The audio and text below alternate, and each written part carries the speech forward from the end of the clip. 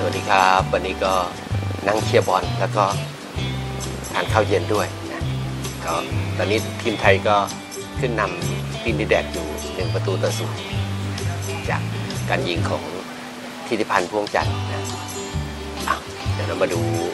อาหารมื้อเย็นกันหนะว่ามีอะไรบ้างนี่ครับอันแรกก็เป็นแกงเห็ดโคนนะก็เป็นแกงแบบบ้านๆนะ แกงใส่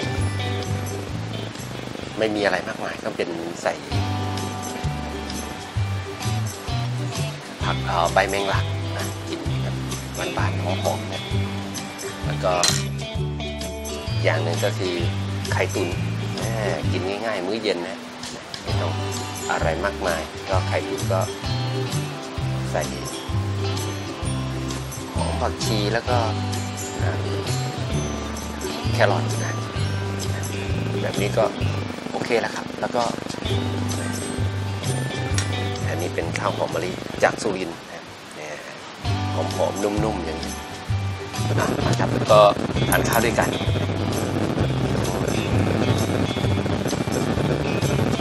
มีไข่เจียว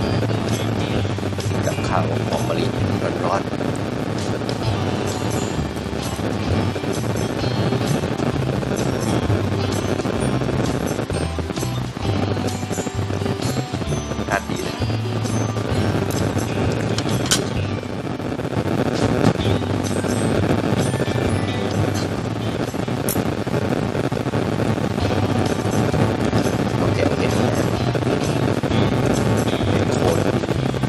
ต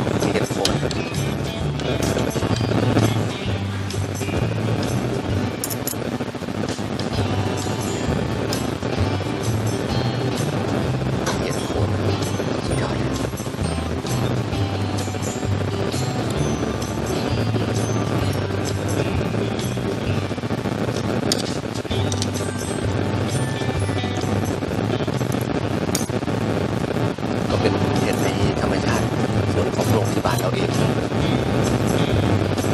แล้วตอนนี้ก็ทดลองเพาะเองด้วยในส่วนสองเทพเราก็ไม่รู้ว่าปีหน้าจะได้กิน